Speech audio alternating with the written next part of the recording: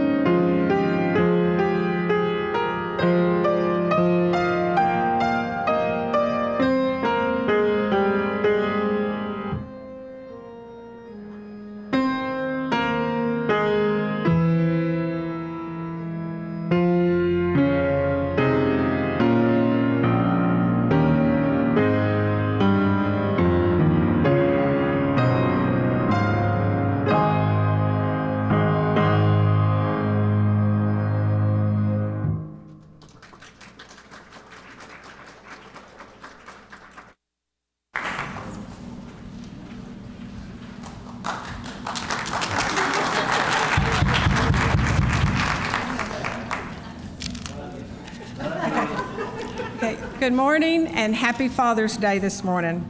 Uh, this morning we're going to celebrate and recognize and say thank you to all of the dads, the fathers, the daddies, the pops, whatever name that you are called, new dads, experienced fathers, men who are dads to children without a father figure.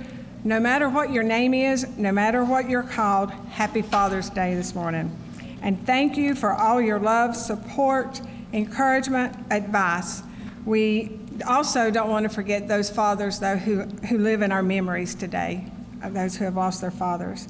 Mount Zion appreciates all of you, so we just want to say thank you.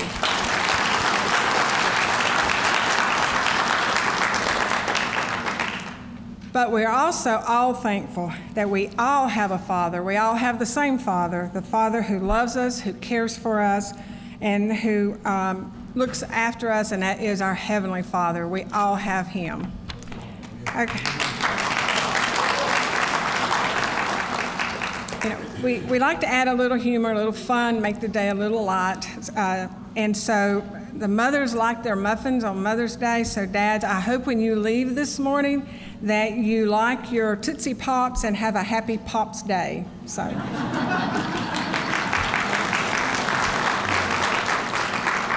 So now we're going to recognize our newest father, and then we're going to recognize our most experienced father.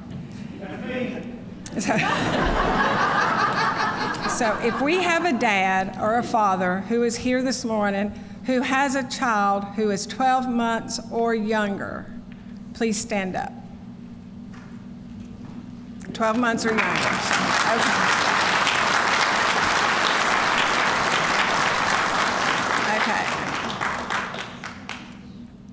And then we're going to recognize our most experienced, oldest father. okay, if you are 90 years old or older, would you please stand up? Yeah. Okay. Okay.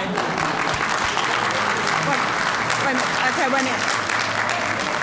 I, how, how, how old are you? 91. How old? How old is DC? 92. 92, okay. okay.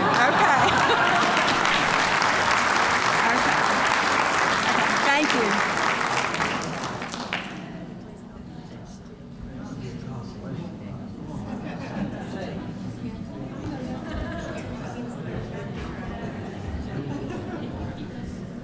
Good morning. Uh, like say a welcome to everyone this morning. Welcome to Mount Zion Baptist Church. Uh, we want to extend a special welcome to you if you are a guest with us this morning. Thank you for coming to worship with us and worship the Lord. And we would ask that if you are a guest with us, that you fill out a guest information card, uh, which can be found in the Welcome Center or in the back of the pew in front of you.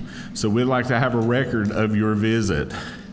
Um, announcements this morning.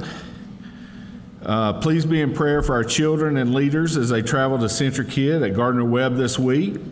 Uh, the crafting uh, for the Mission Bazaar begins Thursday night, June 20th, in the Fellowship Hall at 6 p.m. The Baptist men will not have their regular meeting on Friday, June 28th, as Pastor Zach and his family will be moving that weekend, and the Baptist men will be helping them to move. Uh, on Sunday, June 30th, following the morning worship service, we will have a, an appreciation Sunday dinner for Pastor Robert and Miss Martha Livingston. So please join us and bring a well filled basket as we have lunch together. Uh, other announcements uh, the baby bottles are due today, but because Miss Sherry is going to be out next week, we can extend that deadline to next Sunday.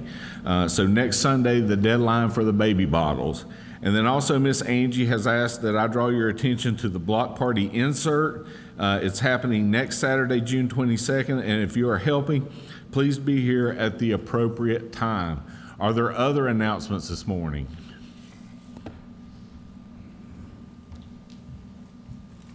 Good morning, Mountain Zion.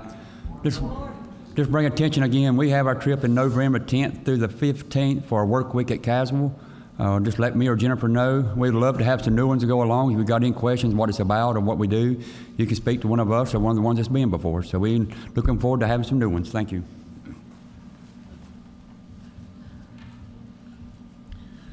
All right. Are there other announcements this morning? Okay, let's do some celebrating. Do we have any birthdays today or this past week? Please stand. Happy birthday. Do we have any anniversaries today or this past week? No anniversaries. Okay. All right. Please rise as we greet one another in fellowship.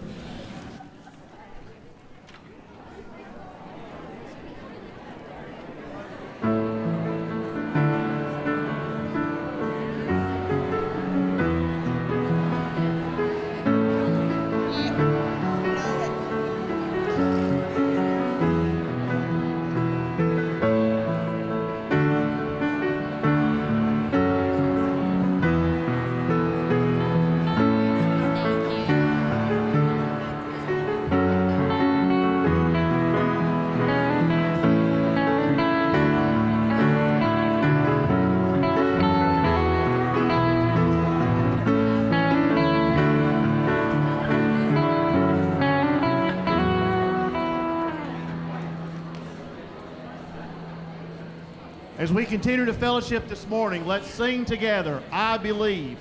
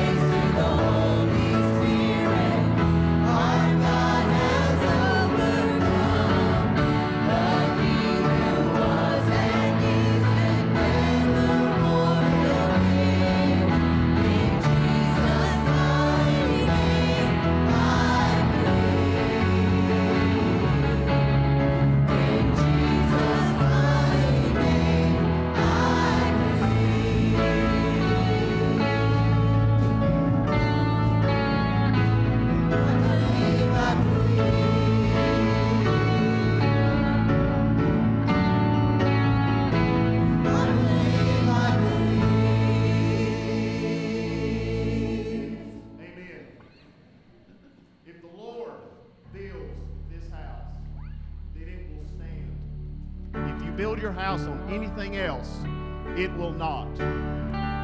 Let's sing together.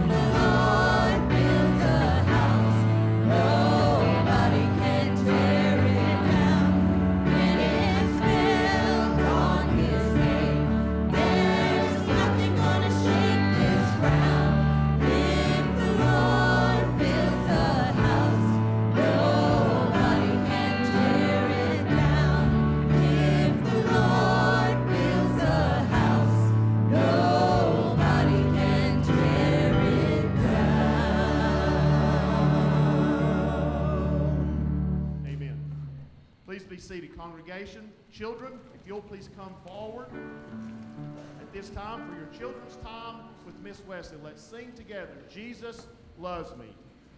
Jesus loves me, this I know.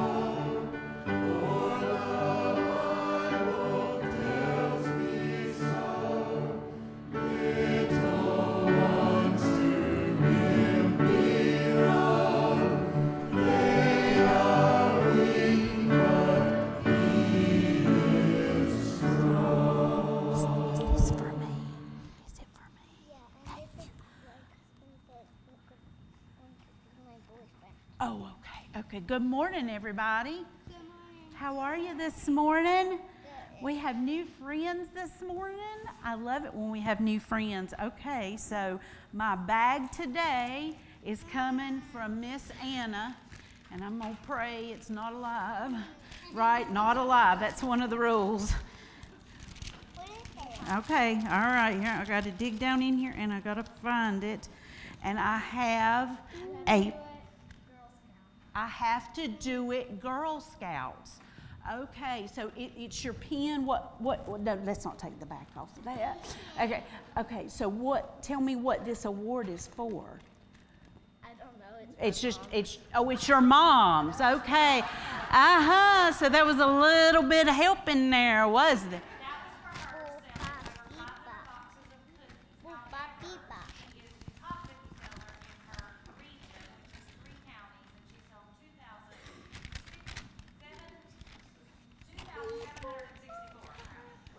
Amen. Good job, Anna. All right. You thought you were going to really get me here, didn't you? Okay, well, you might in the end. Okay, here we go. All right, so Anna, we, Anna's a Girl Scout. Our, our church, everybody regularly attends, knows Anna's a Girl Scout, right? And we know that when it is cookie time, if you see Anna coming, you had better run if you don't have any cash on you because the girl wants her cookies. And now you can even get them online, so you can't even say, I don't have any cash. And some of us have enough cookies in the freezer to do us for two years, okay? Because Anna knows how to sell those cookies. All right, well, let me ask you a question. What if, what if all of us went after telling people about Jesus like Anna goes after selling those cookies? What would happen? What would happen? What do you think? Do you think if every time somebody saw you coming, they knew you were going to be positive and happy and have something, something to say about how good God is and how much Jesus loves them? Do you think they would like to see you coming? Some would. Some wouldn't. Some would run. That's the truth. Some people just don't get it that they need Jesus. But if we all worked as hard as Anna does, if we worked half as hard as Anna does to tell other people about Jesus, how many people do you think would know about Jesus in a year? Let's see, there's one, two, three, four, five, six, seven, eight, nine. There's nine of us up here. What if we told 1,000 people about Jesus in a year? Can you imagine that? Church, what if you told 10 people about Jesus in a year? What if we went after people who need Jesus like Anna goes after cookies? Boy, y'all won't eat your Girl Scout cookies without thinking about that now, will you? All right. Does that, how's that work? Is that, okay? Anna says I get points today. I don't get double points though because I didn't put fathers in there, did I? Sometimes I can do a double, but I couldn't do a double today. All right, will you pray with me? Will you pray with me, buddy? It is a microphone so everybody can hear what I say. Okay, so but we're going to pray right now, okay? Because I know what's coming next. All right. Yes. One thing we need to do, folks, we need to pray for our kids. What better time? They're up here that are going to CentriKid this week. So if you're going to CentriKid, either you're going as a child or a chaperone, would you please stand at this time?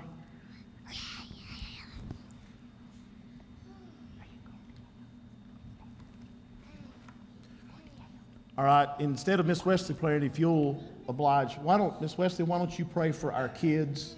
Y'all heard that, didn't you? Yeah. Yes, I will pray for Yes. my kids. Thank Yes. you very much. Yes. If, let Miss Wesley lead us today in our prayer for our children going to CentriKid, that they would have a blessed time. Pray for chaperones, pray for Pastor Gary, because he just got back from Caswell, now he's going to CentriKid. Pray for renewed strength, that they would have a great week in the Lord. And I just found out we need to definitely pray for Lily. She was not given lunch today. Okay. Please pray for Lily. All right. Um, dear Heavenly Father, thank you so much that you have given us the gospel to share with other people. Lord, thank you that you give us examples like Anna of how to be encouraging and how to step out of our comfort zone and, and approach people. Dear God, give us that burn, give us that desire. We have a world that needs you, Lord. They need your love. Dear God, I pray for our kids and our adults going to going to CentriKid. Dear God, what an amazing time for these kids. What a time to learn about you and to grow in your knowledge, Lord, and to learn how to share who they are in your faith. God, I ask that you give an extra measure of strength, an extra measure of patience, an extra measure of rest. Dear God, I ask that you just walk among them, grow them, fill them with your Holy Spirit, Lord, and bring them back to us safely, Lord, but changed forever. In your holy name we pray. Amen.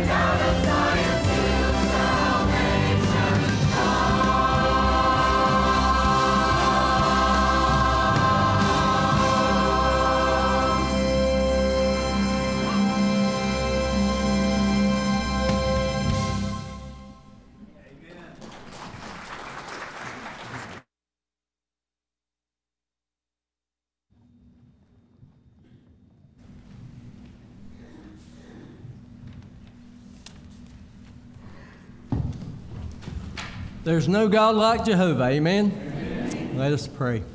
Father God, you are the one and only God we serve, Father. And I just praise you today, God, thanking you for being our Holy Father, Father. God, just uh, blessings that we have from you, Father, for your love, mercy, and grace, but most of all for your Son, Jesus, Lord. We praise you and honor you today and give you thanks for all that you've done for us individually and here at Mount Zion as this church uh, will continue to grow and uh, spread the gospel of Jesus Christ in our community and our world. Just help us each one to be that, that example each day as we go in our workplace, our community, wherever we may, we may serve each day, Father. Just be that example of Jesus Christ in this world and tell others about you, Father. Just be with us today. Be with Pastor Robert as he brings the message, Lord, you've laid upon his heart, Father. Help us to understand and know you closer, Lord, that we may grow closer to you, Father, and to be able to share your gospel with others, Lord.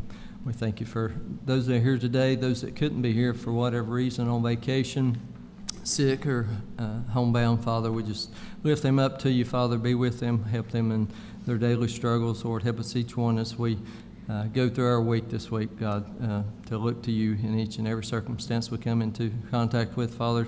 This week, just be that shining light for you. I love you and I praise you, God. In Jesus Christ's name I pray. Amen. Congregation, please stand as we sing together Faith of Our Fathers.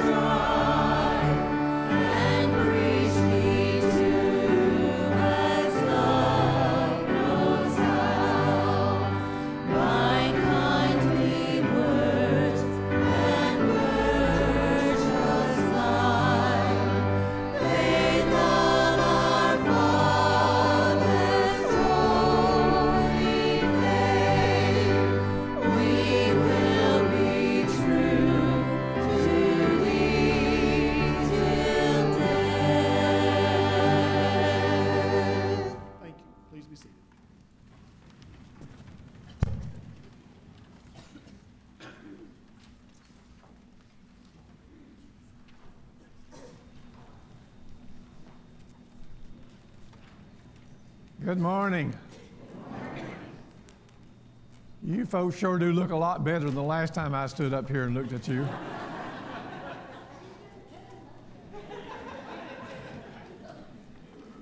For those of you who are visiting today, that's an inside joke that we won't follow. But I do appreciate your concern for me and prayers for me. We're doing fine so far. We're doing great. Thank you for allowing us to be away last week. Uh, it was kind of an early Father's Day that we, Martha and I, got to go to uh, Georgia to visit our son and, and his new son, five weeks old. So we got to uh, cuddle that little fella. He paid us no attention whatsoever. Uh, but one of these days he will, and we'll enjoy that. But uh, thank you for giving us that time away. It's good to see Walter and Jacqueline Ford here with us this morning. Welcome. Good to see you folks here. Walter's my deacon from Yadkin Baptist Church. He still calls and checks on me and sends cards and all that kind of stuff. I appreciate them very, very, very much.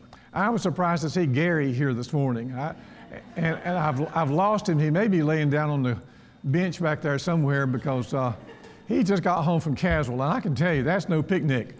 Uh, and he's getting ready for the children's trip, and so we'll be praying for him uh, this week, uh, especially. If you have your Bibles with me, with you, please turn with me to Luke's Gospel, chapter 15, the greatest uh, story that's written in the Scriptures by many estimations. Luke chapter 15, beginning with verse uh, 11. Although I'm going to sneak back up and read verses 1 and 2 to begin with, but if you are able, would you please stand for the reading of God's Word in these moments? Let me read first verses 1 and 2. Now the tax collectors and sinners were all gathering around to hear Jesus.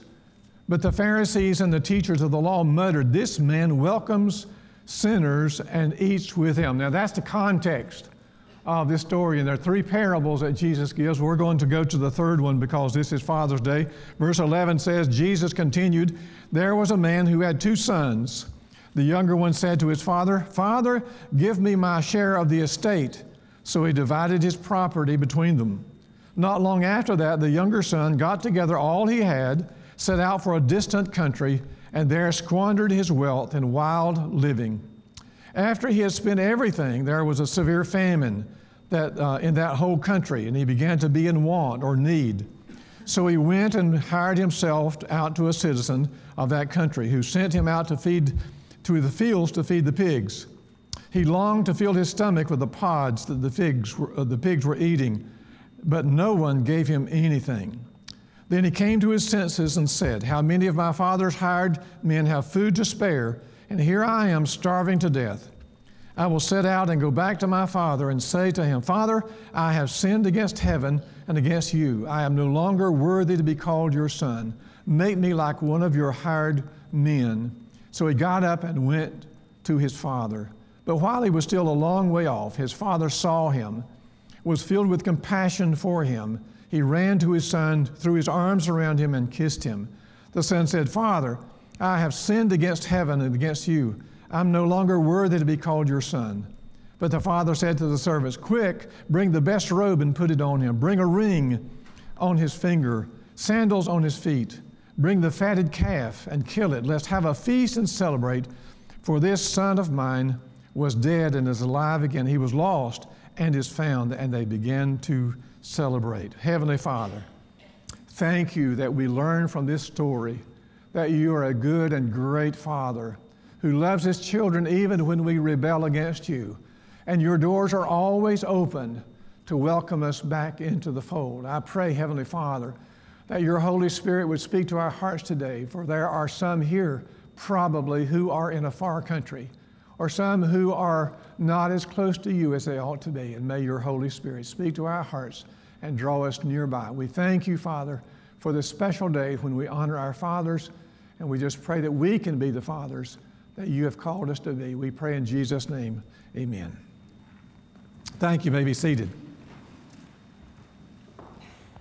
Someone has noted that the word father, if you look it up in the dictionary, it comes somewhere between the words fatigue and fathead. so, all of you fatigued, fat headed fathers out there, happy Father's Day to you we appreciate you and we honor you and we, we uh, thank God for you. Um, a little boy was asked the, what was Father's Day like, and he said, Well, it's just like Mother's Day, only you don't have to spend as much money on the present. A man jumped on a bus one day with his five kids, uh, and the bus driver said, Wow, are these all your kids or are you on a picnic? He said, They're all mine, and this is no picnic. And if you're one of those with a lot of kids, you understand that completely, do you not? My, our dad would have agreed with that for sure. Um, one day, a dad took his son to school, and when he got home, the, the wife asked, Well, did little Billy cry when he got to school? And He said, No, but the teacher sure did. Luke 15. Luke 15 contains the greatest of all the parables of Jesus. Charles Dickens, who was a noted poet, says that this is the finest short story that has ever been written. It's a powerful message of the love of God as our Heavenly Father, the love that, that draws us to Himself, the, law, the, the love that welcomes us back when we have gone astray. It's a simple, but it's a profound truth about the Heavenly Father. Using this wonderful story, I want to talk about the facets of fatherhood. There are three that I want to mention. First of all, there is the Father's joy. Secondly, there is a Father's pain. And thirdly, there is a Father's hope. It's a Father's joy to give good gifts to his children. In Jesus' story, the father had been a successful man in business, had provided a safe, comfortable home and life for his family. From his hard work, he had given to his children, to his family, the very best that he possibly could. This father was not only providing for their daily needs, he was also providing for their legacy and for their inheritance that they would receive down the road in the future. This father loved his children and found great joy in giving to them the very best that he possibly could give. Now, this story is about, not about the prodigal son, as it is usually named. It's about the Heavenly Father and his joy in giving good things to his children. That's us. God loves to give good things to his children. Genesis tells us that when God created the heavens and the earth, he looked back and he said, Man, this is really good. And then he gave that good creation into the hands of his son Adam and his wife Eve, that they should care for his creation. When God gave Israel a land to live in, it was called the Promised Land. It was a land flowing with milk and honey, and God gave it to His children because He loved them and He wanted to give good gifts to His children. God finds great joy in giving to His children the very best that we can receive from His hand. James 1:17 says, "Every good and perfect gift comes down from the Father of lights." Uh, God loves to give good gifts to his children. Matthew 7, Jesus said, if you, are, if you who are evil know how to give good gifts to your children, how much more will your heavenly Father give good gifts to those who seek him or ask from him? It gives great God great joy to be able to give us gifts of love and compassion and forgiveness and hope and, and life and blessings God loves you. God loves you. And God wants to give to you the very best He has for you to enjoy the life that God has given to you. Isn't it true for all of us who are dads? Jesus asked, What man of you, if, if a son asked for a bread, would give him a stone? Or ask for a fish and would give him a serpent? No, we would not do that to our own children. All fathers and all mothers and all parents want to give the very best that we have to our own children. The basic things like food and clothes and shelter, or grandpa's squirrel gun, or grandma's wedding ring, or that heirloom pocket watch. We want to give those precious things to our children, but larger things too, like love and protection, values, respect for the family name, appreciation and a sense of self worth for who we are. Our, our hearts want to give all those good things to our children. Jacob in the Old Testament was found great joy in his son Joseph, who was the firstborn of his favorite wife, Rachel. So Jacob gave Joseph a beautiful coat to show his love and approval. Now, a word to the wise here. If you've got 11 other sons, Don't neglect them either. You know, you may have a favorite and you want to give him the best, but don't neglect the rest. We, good fathers don't play favoritism among their children, that's for sure. But the point is, as fathers, we love to give good things to our children. Good dads would gladly, joyfully sacrifice themselves to give the best that they can for their children. Today, we honor you, dads, because you sacrifice yourself to give your very best to your children because of your love for them. It's a great joy to give good gifts to our children. But it's also a father's pain to see our children struggle in life. In Jesus' parable, the youngest son takes his father's inheritance, cashes it in for what he could get, and blows everything in a few nights' fun experience. To me, that's like taking great grandfather's pocket watch or grandmother's prized wedding ring, taking it to the pawn shop, asking $10 for it, and then going out and blowing it in one night's drinking of beer. With no respect, no appreciation, no acknowledgement of the internal intrinsic value that that gift had to begin with without recognizing the sacrifice that was made by the dad or by the mother to give that gift to the child and just throwing it away as if it was nothing whatsoever. Worse than that, this boy breaks the relationship of home. He simply walks away from his father, from his brother, from his family, from those who loved him most, to join with those who cared nothing for him whatsoever who did not value his life, did not value his values, did not value his, his faith or anything else. Jesus doesn't describe the father's reaction, but you can imagine, can't you? You know what it's like when your child turns away from the values and faith and the gifts of love that you have given to that child? How did God feel when Adam and Eve rejected his love and went after a taste of forbidden fruit? How did God feel when Israel turned their backs on him and went to worship Baal?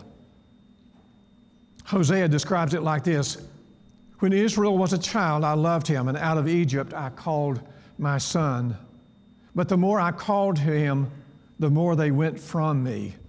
I taught him to walk, and his first steps were to walk away.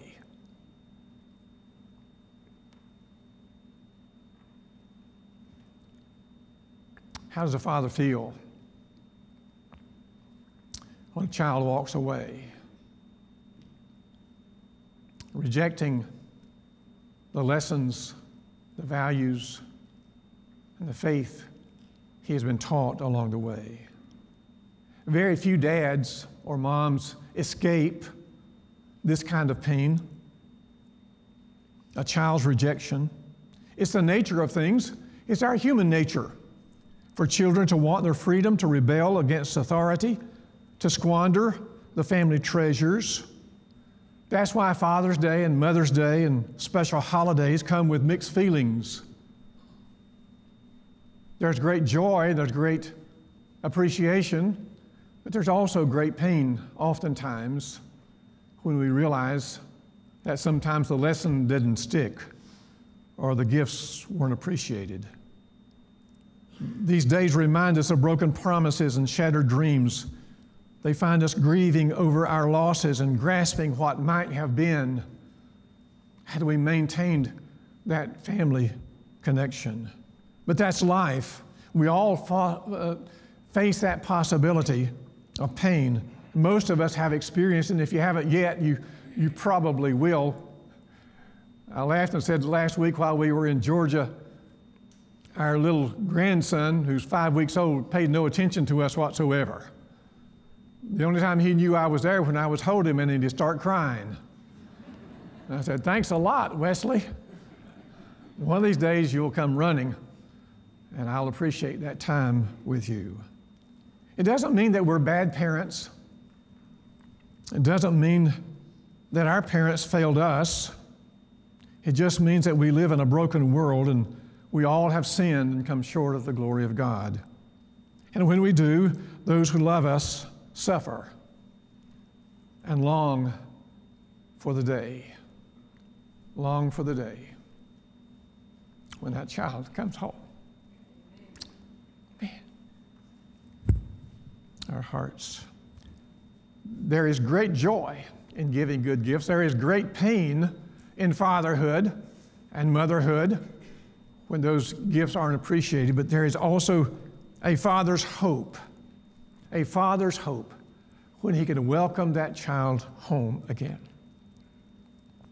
This father in the parable waits expectantly for his son to return. It always has intrigued me that in the story that Jesus tells, that the father doesn't go looking for his son. He does not go looking for his prodigal son, his wayward son, his wandering son. That's tough love. That's tough love. Sometimes we have to let them fail so that hopefully they will learn a lesson of life and will be brought home again. But every indication is that even though the father did not pursue his son physically, he was eagerly hoping, expectantly waiting, and actively watching for his son to return. He was confident that his son knew that what awaited him at home was grace and mercy and love and forgiveness and food since he was hungry. The father's hope that was those special gifts would someday draw his son back home. And when his son came to his senses, and all fathers pray that their children will someday come to their senses. He got up from the pig pen, he prepared his heart, and he made his way toward home. And from a great way off, the father saw that familiar gait, that familiar posture that he recognized in his son. He did not sit on the porch waiting for his son to arrive. He leaped off the porch and he ran.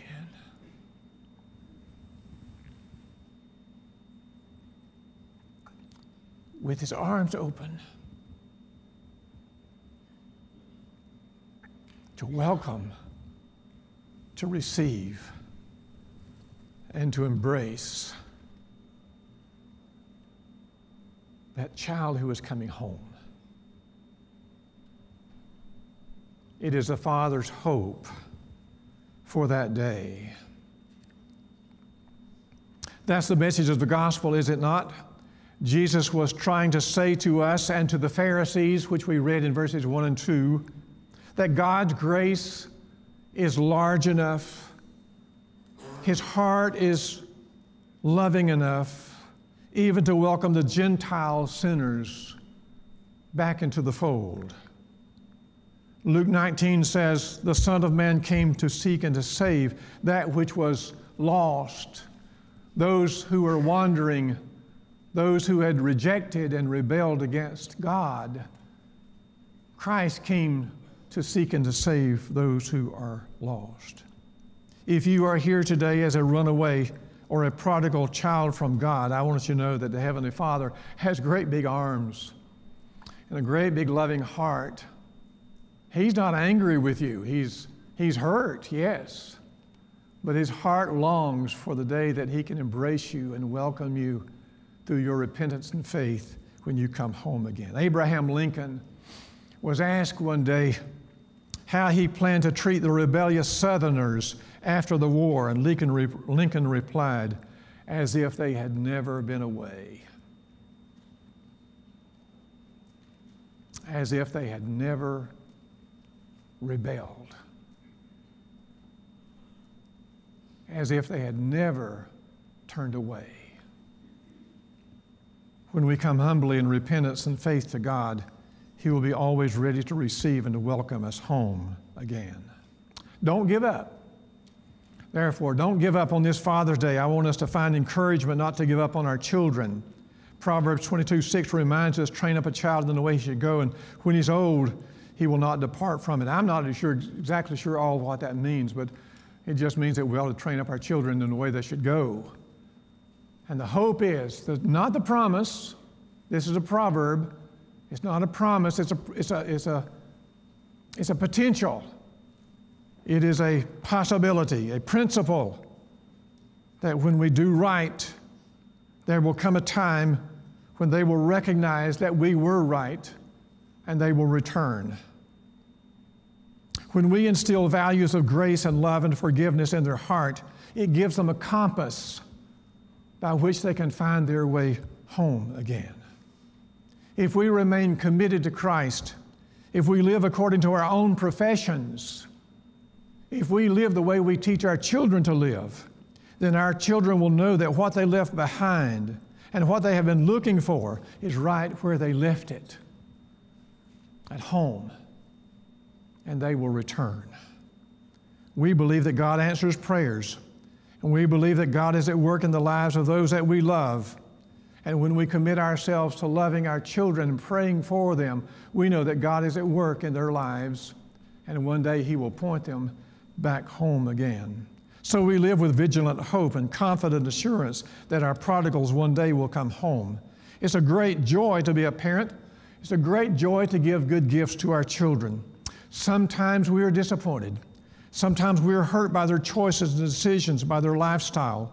But we live with the hopes that one day they will remember and they will know that the world they live in is not their friend. And the only one who ever loved them is still at home waiting for their return. And maybe that's the greatest gift of all.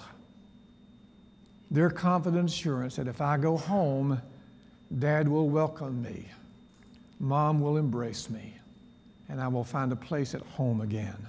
What about you today? Are you one of those runaways? Have you been away from God's love and God's grace? Are you feeling the pinch of sin in your own life? The main point of this, this parable is that God is ready to forgive and receive you home. If you'll humbly come to Him in faith, He will do that. He will forgive your wanderings. He will embrace you, and He'll just be like you've never left at all. You just be like you've always been right here with Him forever. Are you a parent with a prodigal? Have you given them your best? Then wait, trust, pray, expect, and watch for your child to come home. Heavenly Father, what a story. It is your story. For you are the Father who loves his children loves to give us good things and ways to restore us when we've rejected those good things. I pray, Father, for your Holy Spirit to work in our hearts today because most likely in a congregation this size, we've got some prodigals out here listening. And we just want to tell them that we love them and God loves them and God's ready to welcome them home if they'll come. And for those of us who are dads, or for those of us who are sons who don't have the kind of relationship that we ought to have with each other.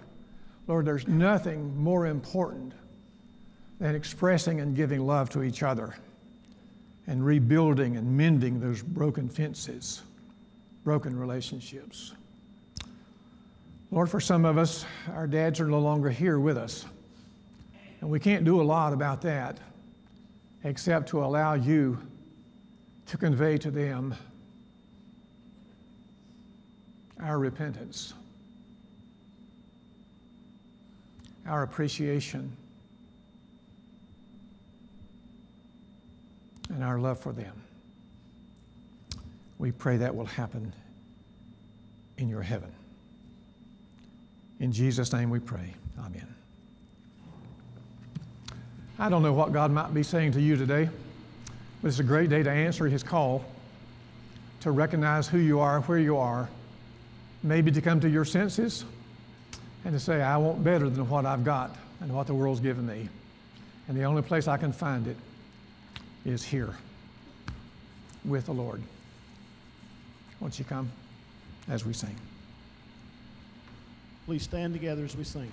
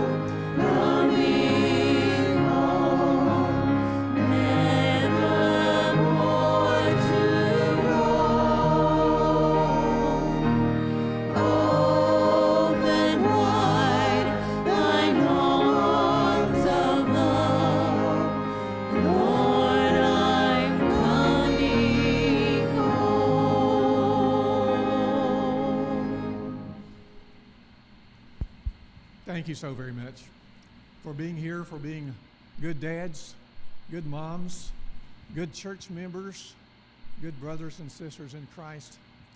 Uh, we all have those journeys that we're on. We're not all there yet. We've not arrived yet, but God is helping us step by step along the way. Any words need to be shared before we dismiss? Uh, I noticed earlier while the choir was singing, I noticed there's at least 12 empty chairs up there. And I heard some really good voices behind me. And I bet you Dirk would be, lo- would be glad to have those wonderful voices in his choir. Amen. Amen. Amen. What a joy it is to, to sing praises to the Lord. So you ought to be there in the choir and serving the Lord with what God has given to you, his gifts that he's given to you. I've got a couple other things to say, and I can't remember what they are. Wednesday night, we're going to pick up again with our questions that God asks us. And you just read the book of Job between here and, and uh, Wednesday night, if you can get through it in that amount of time. And we'll talk about one of the questions that God asks Job along the way. And we've got two more Sundays, and the next Sunday I'm going to talk about how to um, support your local pastor. And so don't miss that. How to support your local pastor. Before Zach comes, I want to get you ready for that. All right? Amen. All right, praise the Lord. I'm going to ask my friend Mark Morris over here if he would to close with a word of prayer, please. Thank you, Mark. Father, we come before you. We just lift up your name, praise and thank Thanksgiving. We thank you that you are a good, good God. We thank you for your love. We thank you for your forgiveness, Lord. We, we thank you, Lord, that when we fall, get back up and ask you to forgive us, Lord, that you're always there to welcome us back. Father, help us within our daily lives to encourage one another. Help us to share Jesus, Lord, with our words and with our actions. And Father, we pray for this thy church, Lord. We pray for Zach and his family as they come. We ask your blessings upon this ministry. We thank you for your goodness. I thank you for thy people here. Or we thank you for Robert and Martha and for their family. We pray for your continued blessings upon them. Lord, we love you. In the powerful, wonderful, precious name of Jesus, we pray. Amen and amen. As we prepare to leave, let's sing together the chorus of Great is Thy Faithfulness.